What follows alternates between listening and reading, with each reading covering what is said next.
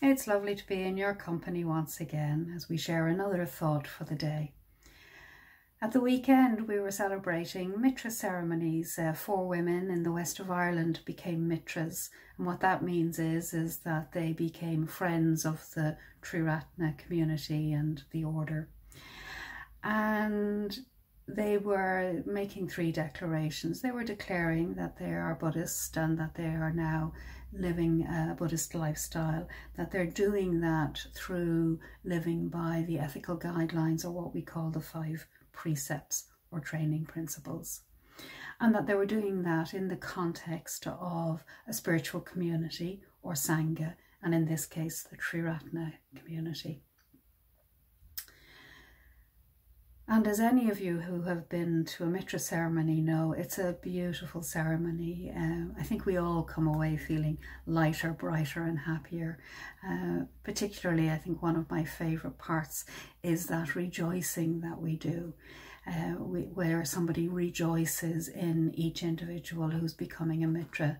And of course, rejoicing is something that we do on many different occasions uh, within the world of Buddhism. But what it has also done for me this weekend, apart from lifting me and making me feel very happy, is it has caused me just to reflect once again on friendship and what it is to be a spiritual friend. And the Buddha has something to say about this, um, which I always find great because then, you know, we have we have guidance from the Buddha if you notice here behind me, I have a, a, a print. It's not very clear, I know, but um, it's a picture of the Buddha and Ananda, and they're walking along a path in India somewhere. But they're in conversation, and their body language, you know, they're facing one another, or they've turned toward one another.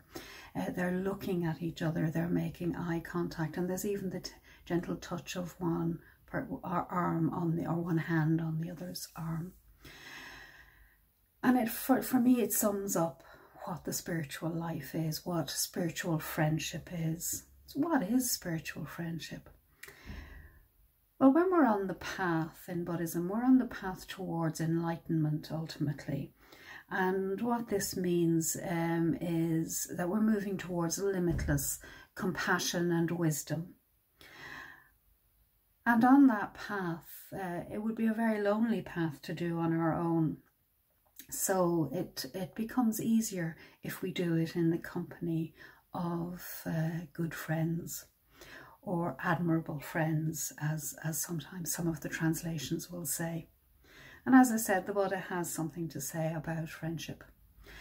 There's a story that Ananda one day came to the Buddha and he said to him, um, the spiritual friendship, the, the fellowship of good companions is half of the spiritual life. And the Buddha said, no, no, it's not. Spiritual friendship, friendship is the whole of the spiritual life. So what does that mean? Well, when we have good friends, when we have um, admirable friends, what did they do, what we do for each other is, is that we, we share um, our experiences. We can help one another to follow the precepts. Um, you know, when somebody becomes a mitra, they they declare that they're going to try to live a more ethical life, and, and they do so by following five precepts. And when we become order members, we follow 10 precepts. So one of the things that spiritual friends can do is, is that we support each other uh, in in following these and we gently and with with love and kindness we um, remind one another when we might be slipping slightly off that path. But we can also support um, one another in other ways, and that's where that rejoicing uh, comes in, where we can rejoice in the merits of one another, the, the, the beautiful qualities that we have. And if you've ever had someone uh, rejoice in something or tell you something that you're good at, it always feels good. So there are some of the benefits of spiritual friendship. And with that thought, I'd just like to leave you for this week. And I look forward to seeing you again soon.